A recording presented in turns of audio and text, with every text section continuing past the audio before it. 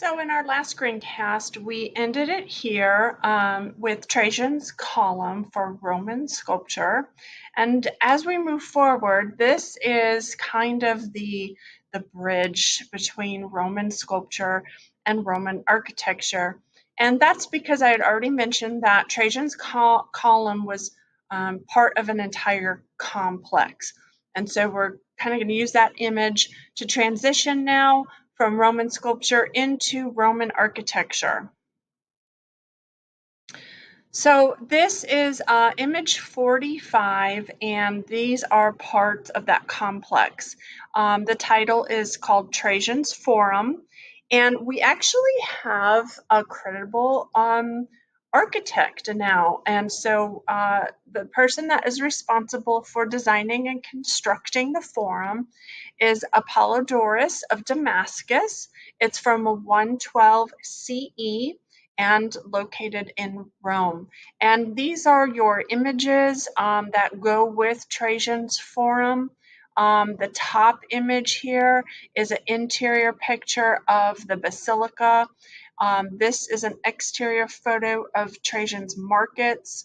Then we have the column that we've already covered, and then we have the forum, this big kind of open arena. Um, it's I think important to understand kind of that aerial perspective and and looking at the entire complex and how they um, kind of are, are laid and work together. And remember, what we have today, you know, are ruins, remnants. So these are kind of, you know, remodels of um, what the entire complex would have looked like within the city center. Um, so right here, this big open forum, um, that is that is the the forum, and so this um, is you know an open area for for gathering for events. Um, and you can tell that it is surrounded um, by a colonnade as well. And then at one end of the forum, you have this long building, and that is a basilica, and it's titled the Basilica Ulpia. Okay. Um, over here, where you have a lot of these kind of half circles and curves, this is Trajan's market area. Okay. Um, back here, this is the Temple of Trajan. And then right here, number two, right here behind the Basilica, this is Trajan's Column. And when we were talking about Trajan's Column, we talked about, you know, how do you view it? How do you look at the narrative, you know, on such a tall, um, you know piece of kind of architecture and and appreciate it and read it and you know under be able to follow the story.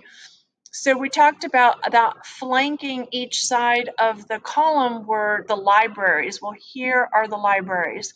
And so again there's some sort of theory that there was some sort of balcony or something on the libraries that allowed you access to view the column um, from kind of all levels um, and so that's the um, basic structure of the entire forum. Here I've just included uh, more images, you know, to help show you and help um, appreciate kind of structurally what we're looking at.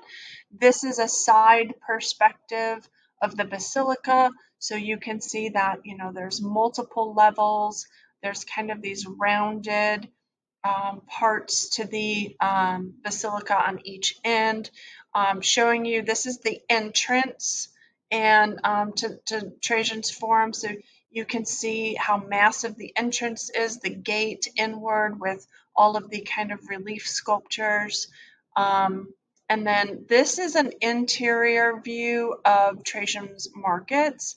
Um, a lot of rounded um, kind of uh, arches that we will be discussing um, structurally what, what all of this is about. And then there's the exterior of the markets.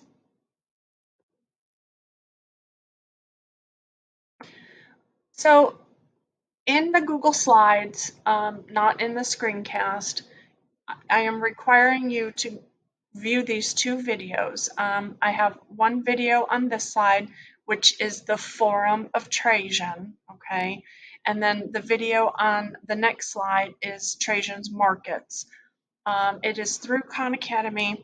You need to view them not just for the information, but they actually walk you around the entire complex, the ruins, and there's no other way to kind of three dimensionally appreciate um, this entire complex. It also shows you the relationship of the ruins with modern day Rome and you know what what happens when these ruins you know uh, you build up around it you build up over it so it also converses about um, you know how it looks in the contemporary setting opposed to how it looked back in the day when it was constructed um, but mostly especially the markets you're, you're not going to be able to understand the grandness of it from a two-dimensional photo. So watch these videos. Um, it's it's required, and it will give you the best understanding um, that you can get. But from um, my slides, I'm just going to go over some main points with you that you need to um, take away for College Board. So again, we have, you know, an actual name of an architect who is responsible, uh, who was hired to um, design and construct the Forum of Trajan. So we have Apollodorus of Damascus. Um, like I said, the complex includes the basilica, the markets, the column, the libraries, the temple, and then the open forum era, um, area. So historically, this entire um, you know Trajan Forum was um, was built using the booty, which is another term for, for the funds that he collected after defeating the Dacians. So, um, you know, that was a, a big triumph that um, Trajan led um, over the Dacian War and was successful. And then, you know, after um, defeating the Dacians, you know, the Dacians basically had to pay fines per se, and then Trajan used that money to build this entire complex. Okay. Um, we talked about the forum that is flanked by um, colonnades and peristyles. Um, and so those buildings that are kind of attached, uh, remember if you look here, um, these long buildings, those are stoa buildings. And then on the interior space, you have colonnades and peristyles, okay?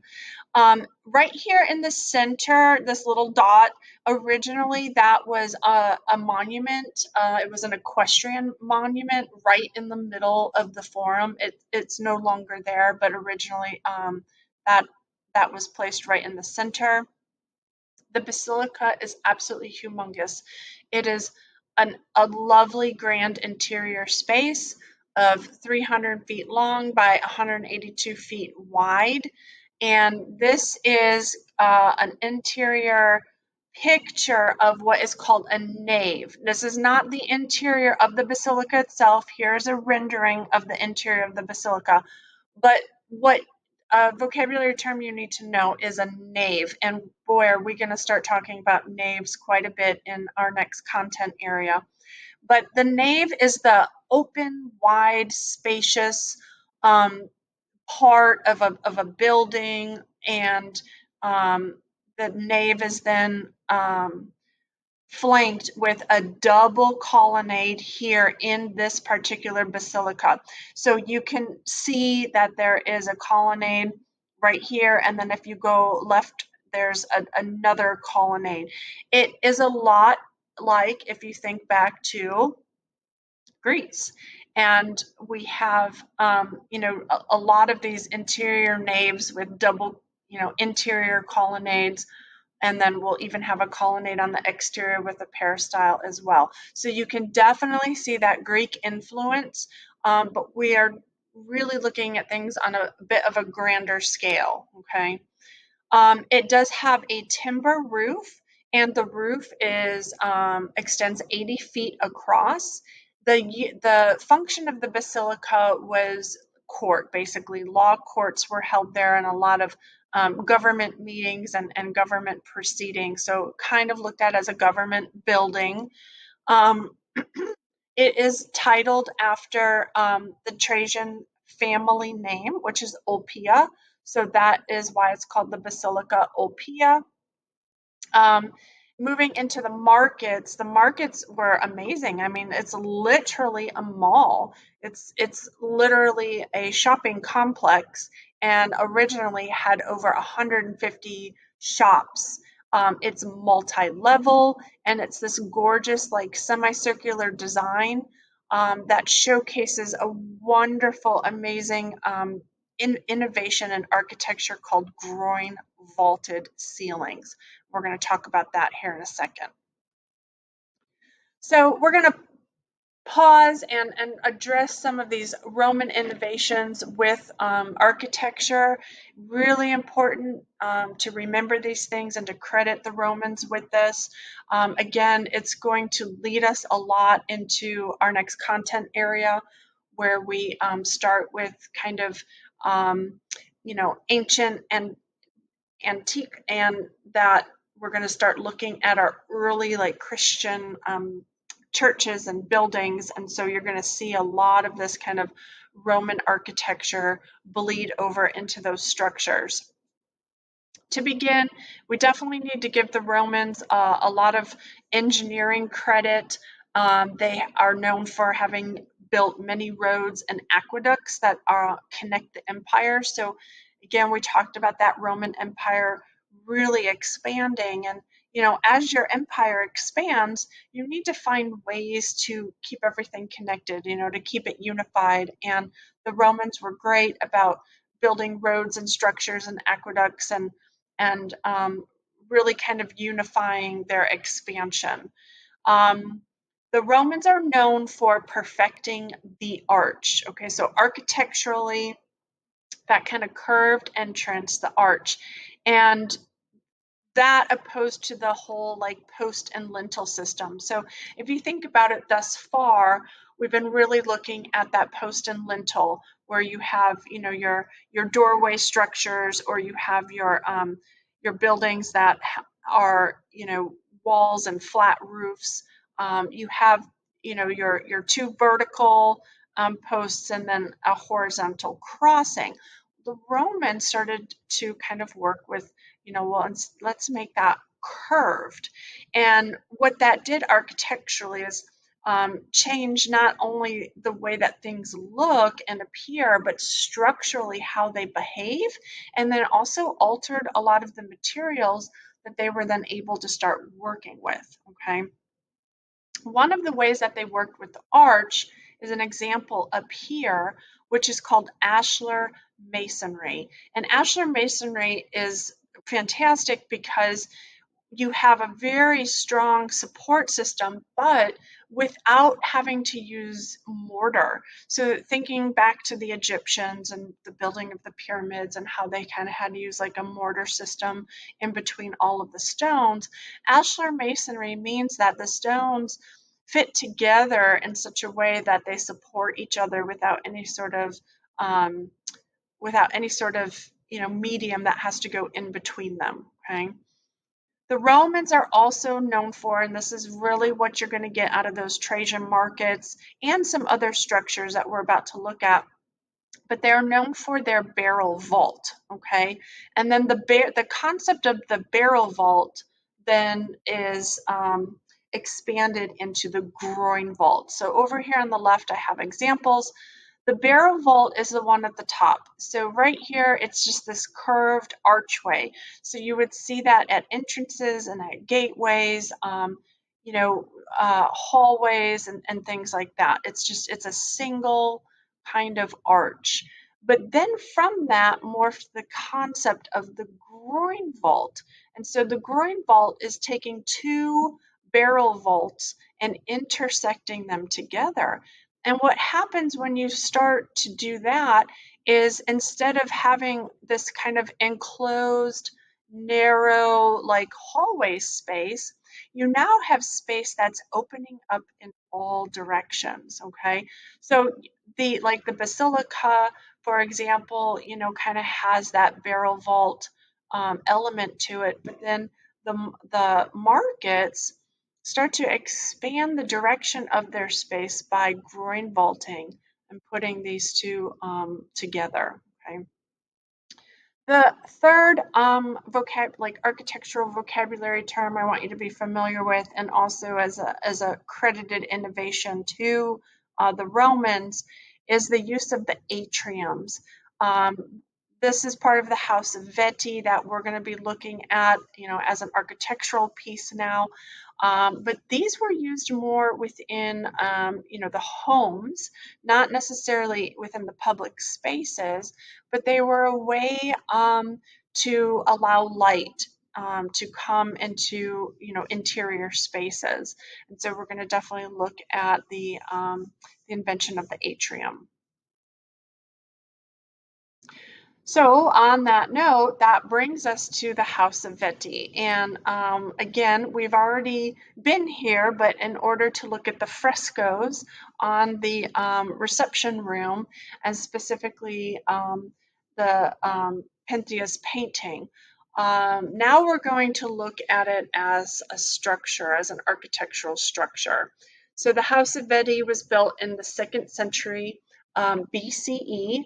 It was then rebuilt in 67 to 79 CE. We're looking at stone um, and fresco, and this is located in Pompeii. And what is very important to understand about this image, what College Board wants you to understand, honestly, is the use of the atriums um, in this kind of floor plan. So if we look at this floor plan, um, you know, we don't need to know every single room and nook and cranny, just, just some of the important ones. But the first thing you want to take note of is this rectangle right here represents um, the large exterior garden, okay? It is considered an atrium because, um, you know, it's still uh, an interior space per se, um, but the difference is that two of the walls that go around uh, this garden, they're they're just um, garden walls. Okay, they're they're not um, they're not walls that go into more interior space. So this is considered more of like a garden area. Um, you have your colonnade that surrounds it, and then all of this white space around it, that's a peristyle, okay?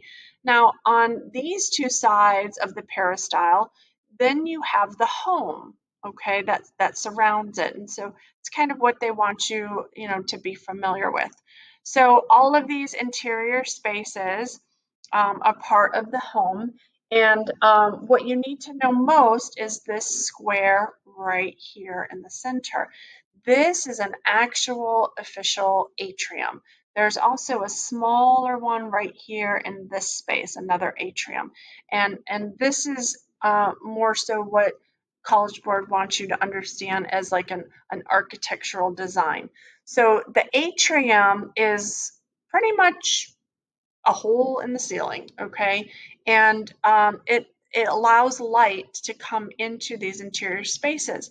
Because if you look at these spaces, okay, there are no windows, all right?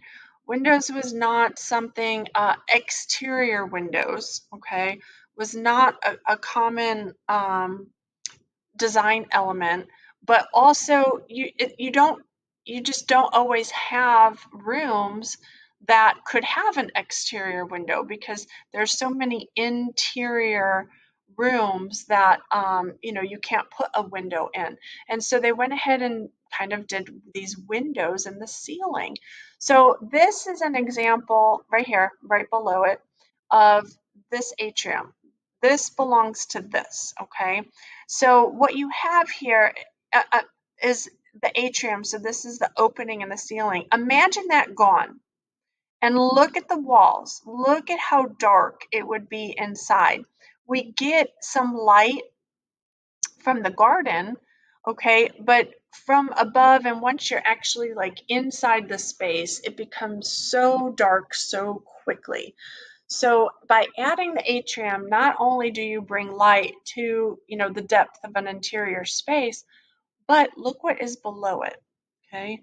This below it is, you know, like a little a little pool, a little um, kind of basin of water. Well, that is where the rainwater would collect, and then that would become water that they use in their home. So it served a lot of very useful purposes and was an absolutely great innovation of design. This image right here is the outside garden. Okay, so you can, uh, standing in the outside garden, you can kind of see the peristyle around it and then knowing that, you know, the rooms were behind those walls. This is um, kind of what the House of Vetti would have looked like in its original days. Um, so you have these beautiful, you know, marble floors, these painted white columns, you know, very high ceilings. But all of those interior walls would have been treated fresco style. And again, you have that Pompeian style where, you know, they are um, they are kind of showing like faux architectural um, qualities. You know, you have um, paintings that look more like, you know, molding and, and additional columns and addition, additional architectural design. Um, and then you have um, little framings of, you know, portraits or mythological stories um, painted on the walls as well to look like hung, um, hung pictures, hung artwork okay? And then the light from this room definitely is coming from above and then a little bit through your peristyles outside. So the history of this piece is basically, um, it was originally built by two brothers. Um, they're the ones who built the house and owned the house, and they were both freedmen, and that is literally how it sounds. They were once um, slaves that were then freed and uh, eventually made their money as merchants. Um, you can see that this is these houses, these homes were, you know, in city centers and were sandwiched between other other buildings and other shops. Okay, so we're not looking at really like a freestanding structure out in the middle of the countryside that surrounding the edges of this building, of this home, are other buildings. Okay, so we talked about not being able to have windows. So if you can imagine, this is the front entrance. So on the right and the left of the House of Vetti are, are other buildings that are connected to it. And so there's there's no way to have windows when you know all these walls are connected to other buildings okay? So that was another you know reason why they had to get light in a, a different way. Um, again we have the um, large atrium with a catch basin um, in the center and um, you have that peristyle garden and we talked about the lack of windows. That's basically um, the information that you need for the house of Vetti. Um, I've just found some great other um, drawings and renditions of the House of Vetti that I, I think just helps you understand more what you're looking at. So this is kind of an aerial perspective. So we talked about um, this is the garden and the peristyle um, that comes around it. And then on the other two sides is the actual home, the rooms, the structure. Um, this is the dining room. This is the receipt, the reception room. So this is where um, the frescoes were and the, you know, painting of um, Pentheus was located right here, okay? This is the front entrance. You can see the, the use of windows are minimal, okay? This, okay, they took the roof off so you could see inside but imagine you know there is a roof that goes over here and this is that room that we just looked at with the atrium that has the water basin below it. Okay our next image um, this is the Colosseum it was built in 72 to 80 CE and here's a big innovation guys it's stone and concrete okay concrete was used a little bit in Trajan markets. And again, you will, uh, by watching the videos, you will learn more about that. But concrete is a material innovation by the Romans, and the only reason concrete was able to start being used was because of that groin vaulted um, innovation. Okay, the Colosseum is located in Rome, and uh, in terms of size, the Colosseum was built to hold 50,000 spectators. Um, the original name was not the Colosseum, it was the Flavian Amphitheater. It's an enormous building that has 76 entrances and exits that circle the entire facade. So, um, all the way around, all of these archways circle the entire um, structure, and they're all entrances. It's built with a concrete core. So the actual structure of it is concrete, but then on the exterior, kind of covering the concrete, is a brick casting and a travertine facing. Facing is another way to say facade. Travertine is a stone. Uh, they are stone slabs. So that's that's the structure of it. You have a core of concrete. That's really the structure, and then you have a facade of travertine stone, which is what gives it its look. It's that's more for decorative purposes. That's not for structural. Okay.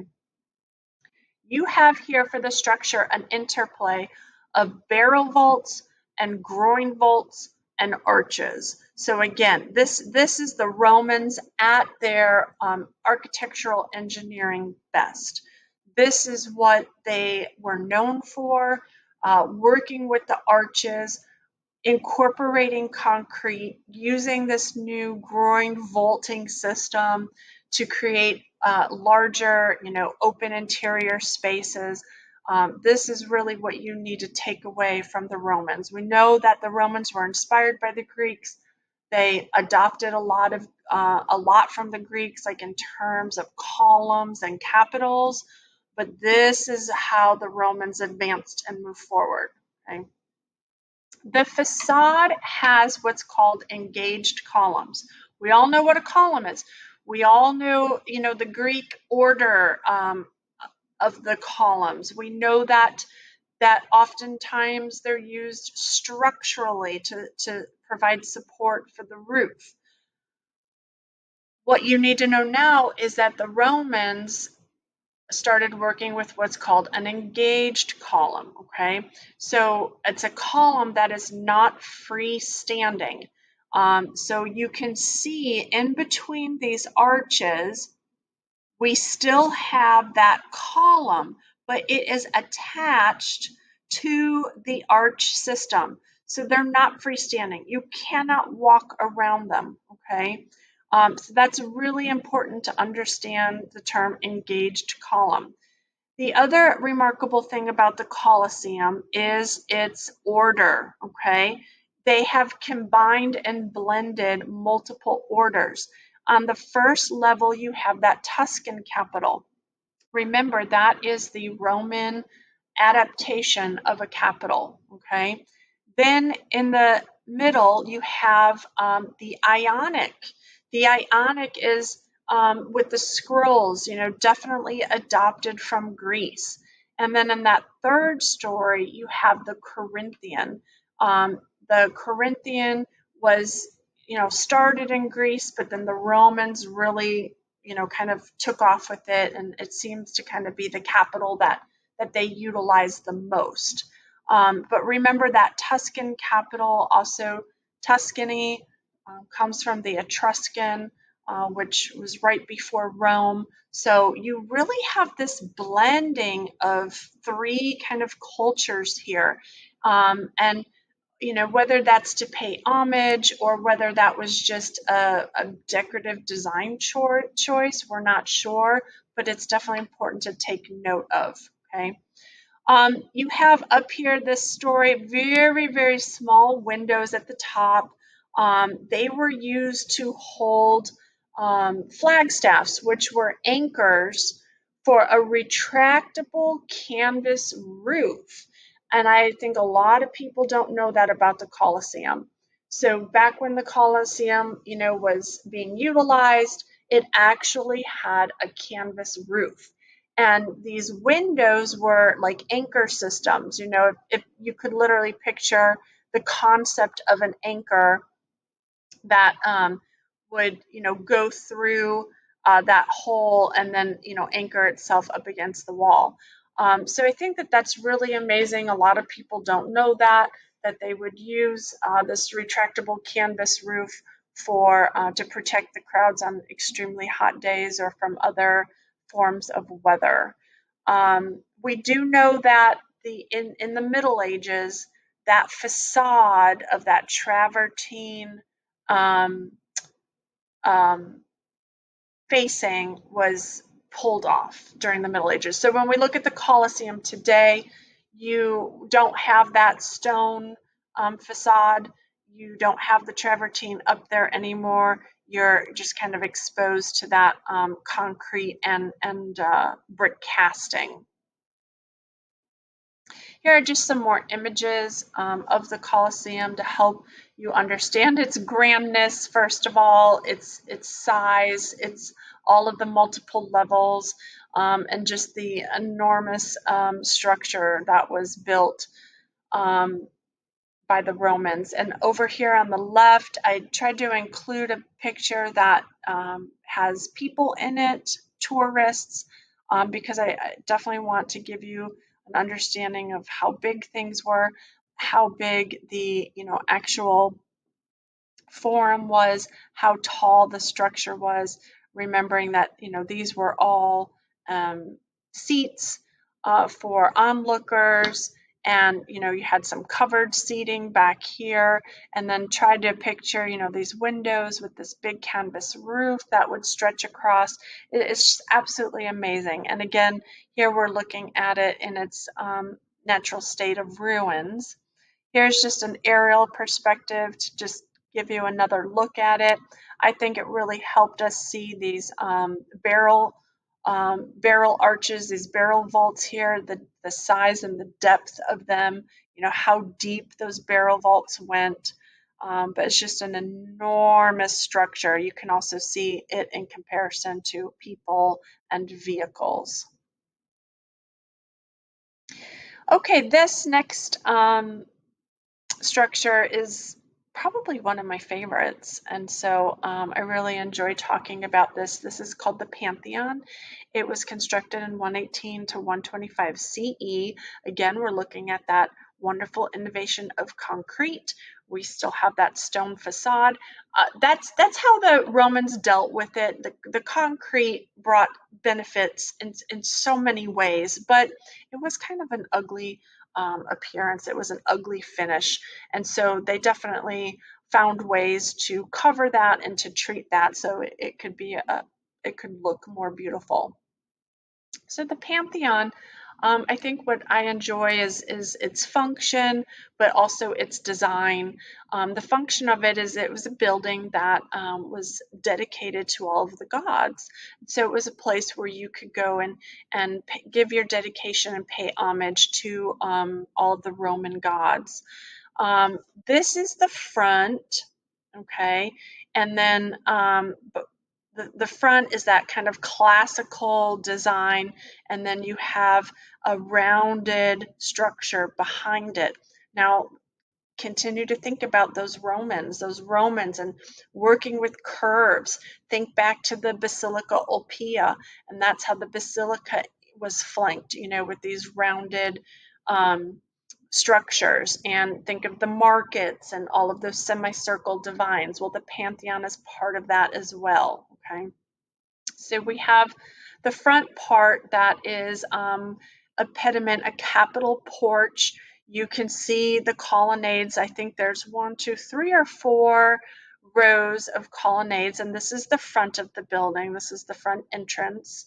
Um, the facade has um, two pediments, um, one that is deeply recessed behind the other, um, and when you go inside, this is the interior. So behind this kind of domed or behind this rounded structure, this is how it looks inside.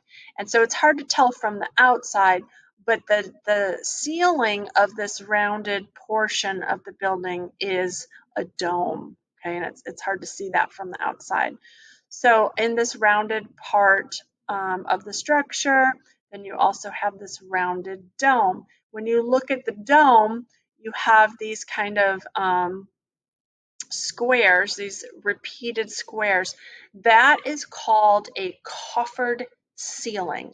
So here's what's amazing. You know, the we've been talking about frescoes and how they are there to serve the purpose to kind of um, give the the appearance of um, architectural further architectural design on just plain walls. Well, please don't be fooled. This is not painted. These are actually three-dimensional sunken panels into the ceiling. Um, and so because they're they are actual, you know, uh, three-dimensional architectural designs, this is what's called a coffered ceiling. And it contrasts, which is so lovely because it's just this repetition of these squares, this geometry contrasts so nicely with all of the curves that happen in this Roman building. The dome, the roundedness of the walls, you even see some arches, um, you know, in between the columns and back within these niches. So it's just a great um, contrast of shape, okay? Um, the dome is called the cupola, and the walls of the cupola are extremely thick, 20 feet at the base, okay? So at the base of this dome, we're talking 20 feet thick and as it goes upward, it does thin out a little bit. You can kind of see the thickness up at the top, um, but extremely thick.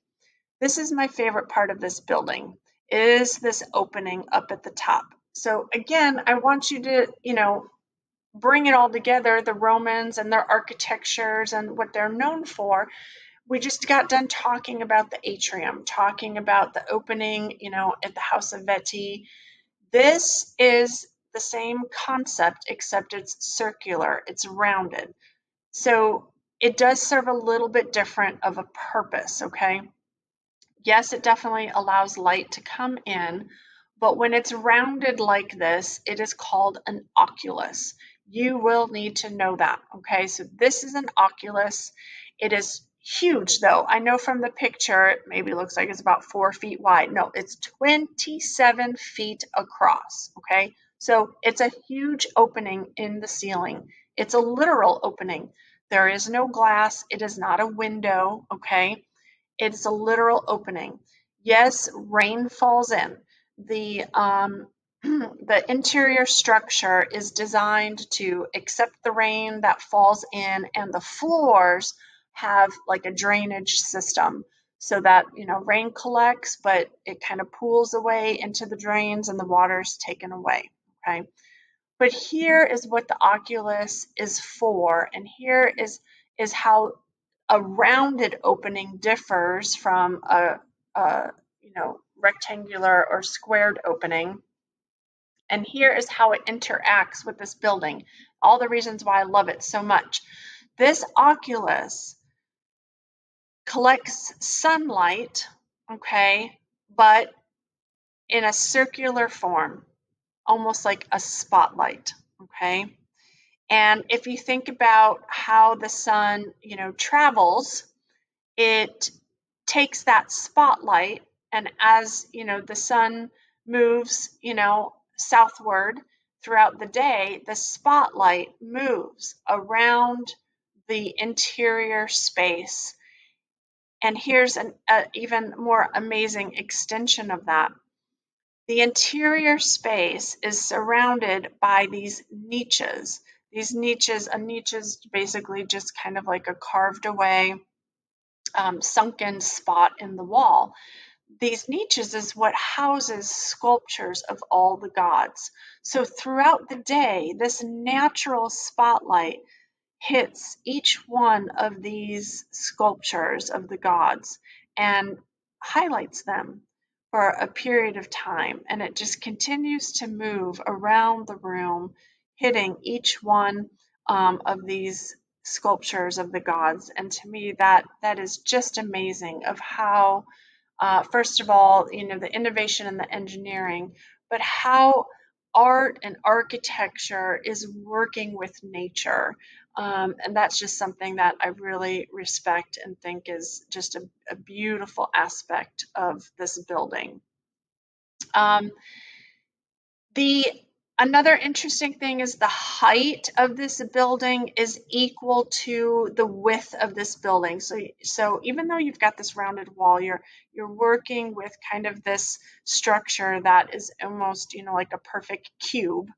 Okay. We talked about the niches. The walls have seven niches um, that house the statues of the gods. Again, this is, um, you know, because of groin vaulting, the concept of groin vaulting, we're able to have this open dome in the interior made of concrete.